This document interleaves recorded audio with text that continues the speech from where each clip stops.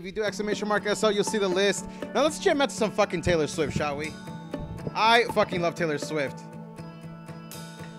It's gonna be dope as shit, dude. It's gonna be dope as shit, I promise. If you know the song, fucking sing it out in chat. We were both young when I first saw you. I close my eyes and the flashback